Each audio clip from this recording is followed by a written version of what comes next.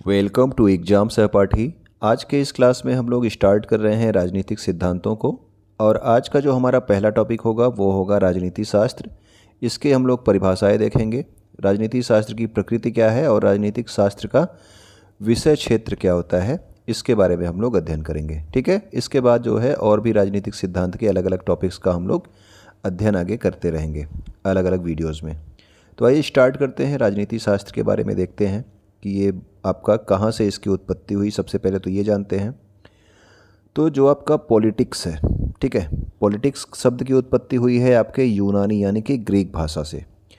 और कौन सी शब्द था? तो ये है आपका पोलिस शब्द। तो पोलिस शब्द है और किस भाषा का है? तो यूनानी भाषा का यानी कि ग्रीक भाषा का ये शब्द है पोलिस इससे जो है पॉलिटिक्स शब्द की उत्पत्ति हुई है।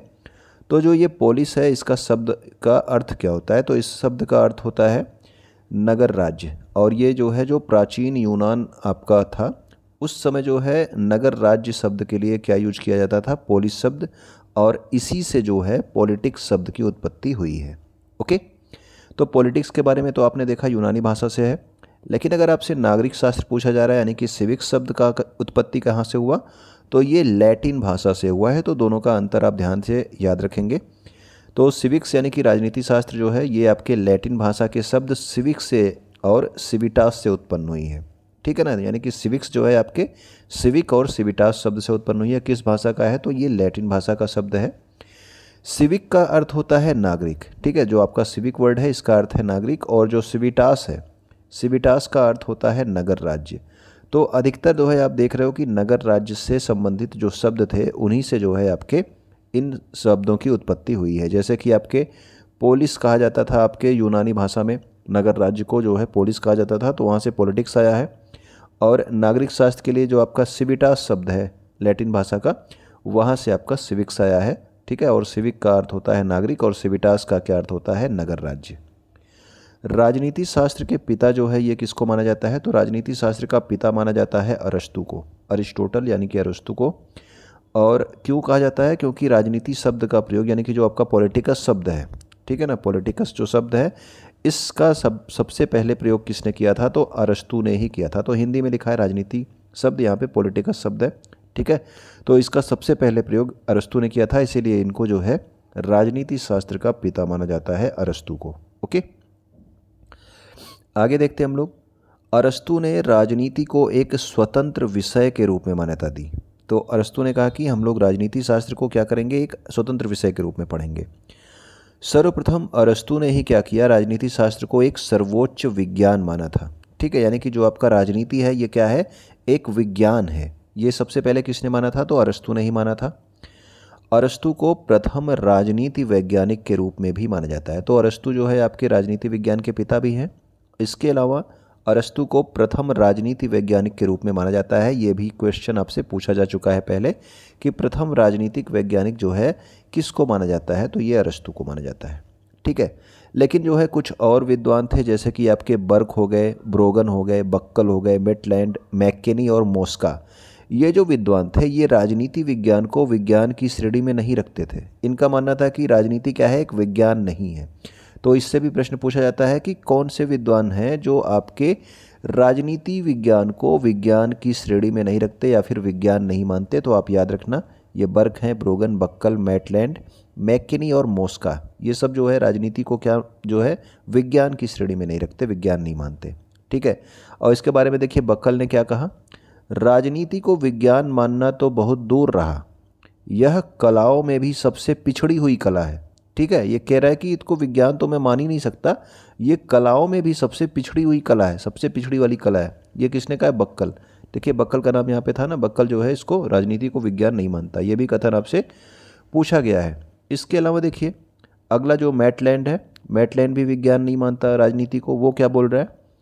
जब मैं राजनीति विज्ञान शब्द के शीर्षक के अंतर्गत परीक्षा प्रश्नों के एक समूह को देखता हूँ तो मुझे प्रश्नों पर नहीं अपितु शीर्षक पर खेद होता है, यानी कि शीर्षक क्या लिखा रहता है? राजनीति विज्ञान शीर्षक लिखा रहता है, ठीक है? तो उसको शीर्षक पे खेद होता है कि ये राजनीति एक विज्ञान किस तरह से हो सकती है, ठीक है? तो मेटलैंड भी जो है, राजनीति को विज्ञान नहीं मानता तो इसका ये वाला कथन भी आपसे पूछा जा चुका है। ठीक है, अब देखते हैं हम लोग कुछ परिभाषाएँ जो आपके राज्य राजनीति शास्त्र की कुछ महत्वपूर्ण परिभाषाएँ जो हमसे एग्ज़ाम में पूछ ली जाती हैं, ठीक है? और हमें इनका जो है ज्ञान आवश्यक है। जैसे कि गार्नर की एक परिभाषा है, गार्नर के अनुसार जो राजनीति शास्त्र है, इसका प्रारंभ और अंत जो है, ये राज्य के साथ ही होता है। कई बार पूछा गया है। कई बार हर एग्ज़ाम में पूछ लेता है कि राजनीति शास्त्र का प्रारंभ और अंत राज्य के साथ होता है, ऐसा किसने कहा है? गार्नर ने। और गिल क्राइस्ट का ये कथन भी बहुत बार पूछा जाता है। गिल क्राइस्ट के अनुसार राजनीति विज्ञान के अंतर्गत राज्य तथा सरकार का अध्ययन किया जाता है। ठीक है? देखिए, यहाँ पे क्या कह रहा है कि राजनीति शास्त्र का प्रारंभ और अंत जो है राज्य के साथ होता है, ये गार्नर ने कहा है, लेकिन गिलक्राइस्ट ने कहा कि राजनीति विज्ञान के अंतर्गत हम किसका करते हैं अध्ययन? राज्य का भी करते हैं और सरकार का भी अध्ययन करते हैं। लीलाक ने क्या कहा है? तो लीलाक ने कहा है कि राजनीति शास्त्र केवल सरकार का अध्ययन करता है। अब देखिए, अंतर आप लोग समझते रहिएगा। गिल क्राइस्ट ने कहा कि राजनीति विज्ञान में राज्य और सरकार दोनों का अध्ययन होता है, जबकि लीलाक बोल रहा है कि राजनीति शास्त्र केवल सरकार का अध्ययन करता है। तो अगर आपसे पूछ लिया जाएगा केवल सरकार का तो आप गलती से भी गिल क्राइस्ट नहीं लगाएँगे। आपका जो है आंसर होना चाहिए लीलाक। ठीक है? कैटलिन ने राजनीति विज्ञान को शक्ति के विज्ञान के रूप में परिभाषित किया। तो शक्ति का विज्ञान जो है, राजनीति विज्ञान को किसने कहा है? ये भी प्रश्न आपसे पूछा गया है तो कैटलिन ने कहा है। ओके? शक्ति राजनीति का समर्थन करते हुए लासवेल ने क्या लिखा? उसने कहा, देखिए जैसे कि आपके अभी कैटलिन ने शक्ति का विज्ञान कहा, राजनीति विज्ञान को तो इसका जो है समर्थन किया कि हाँ राजनीति विज्ञान क्या है, शक्ति का जो है विज्ञान है, इसका समर्थन करते हुए लासवेल ने लिखा कि कौन, क्या, कब और कैसे प्राप्त करता है? यानी कि कोई व्यक्ति जो है कब क्या प्राप्त करता है, कब प्राप्त करता है और किस तरह से प्राप्त करता है, ये किसका विषय है? ये राजनीति का विषय यानी कि जो है शक्ति होगी तभी वो इस सब चीज़ों को क्या कर सकता है, प्राप्त कर सकता है। इसके अलावा हेरोल्ड लासवेल का एक और कथन है कि राजनीति जो है ये मानव समुदाय द्वारा अपनी समस्याएँ निपट निप, समस्याओं से निपटने की प्रक्रिया है। यानी कि मानव के सामने जो समस्याएँ हैं उन समस्याओं से निपटने की प्रक्रिया ही क्या है? राजनीति विज्ञान है ऐसा किसने कहा? हेराल्ड लासवेल ने कहा। इसके अलावा लासवेल का ये भी कथन आप याद रखेंगे। ओके? अब देखिए, हम लोग देखते हैं कि राजनीति विज्ञान का विषय क्षेत्र क्या है, यानी कि किन किन चीज़ों का अध्ययन हम लोग करते हैं राजनीति विज्ञान के अंतर्गत, ठीक है? तो राजनीति विज्ञान क्षेत्र के अंतर्गत निम्नलिखित अध्ययन विषय शामिल किए जाते हैं। जैसे कि राजनीति के सिद्धांत तो सिद्धांतों के बारे में तो हम इसी वीडियो में पढ़ रहे हैं, आगे भी पढ़ते रहेंगे। इसके अलावा जो राजनीति संस्थाएँ हैं, राजनीतिक संस्थाएँ अलग अलग राजनीतिक संस्थाएँ होती हैं और अलग अलग आपके राजनीतिक दल होते हैं तो राजनीतिक दल का भी अध्ययन हम राजनीति विज्ञान में करते हैं। इसके अलावा समूह और लोकमत लोगों का क्या मत होता है, इसका भी अध्ययन हम किसमें करते हैं आपके? राजनीति विज्ञान में करते हैं, और अंतर्राष्ट्रीय संबंध हमारे किस तरह से होने चाहिए, ये सारे जो है किसके विषय क्षेत्र में शामिल हैं तो ये सभी राजनीति विज्ञान के विषय क्षेत्र में शामिल हैं। तो सारे पॉइंट आपको याद रखने हैं कि किन किन चीज़ों का अध्ययन किया जाता है, क्योंकि विषय क्षेत्र से प्रश्न आपसे पहले भी पूछा जा चुका है कि राजनीति विज्ञान के अंतर्गत हम किन किन चीज़ों का अध्ययन करते हैं। ओके? अब देखिए, अगर राजनीति विज्ञान की बात की जाए तो ये सारे पॉइंट्स थे। अगर आपसे पूछ लिया जाए कि नागरिक शास्त्र के अंतर्गत जो है, किसका अध्ययन किया जाता है तो ये सारे नहीं आएँगे। तब ये वाले नहीं आएँगे। तब आपका क्या आएगा? नागरिकता। नागरिक शास्त्र के अंतर्गत हम नागरिकता का अध्ययन करते हैं। नागरिकों का जीवन कैसा है, उसका अध्ययन करते हैं और नागरिकों से संबंधित जो संस्थाएँ हैं उनका अध्ययन करते हैं। ठीक है? ओके? तो दोनों का अंतर आपको याद रखे, रखना है कि राजनीति विज्ञान क्षेत्र के अंतर्गत हम किन का अध्ययन करते हैं और नागरिक शास्त्र क्षेत्र के अंतर्गत हम किसका अध्ययन करते हैं। ओके? याद हो गया? आगे देखते हैं।